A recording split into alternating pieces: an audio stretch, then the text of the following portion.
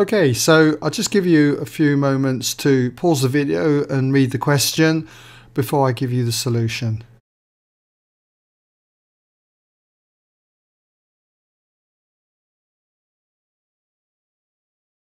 Okay, so we've got to identify an error made by student A. And that error comes from dividing both sides of this equation by sine theta it doesn't lead to this line here, tan theta equaling 2. I'll explain why. If we took the equation cosine theta equals 2 sine theta, and if we were to divide both sides by sine theta, you would end up with cosine theta over sine theta equaling 2. Now cosine theta over sine theta isn't tan theta.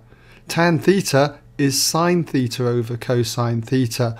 So we can say that that statement doesn't equal tan theta.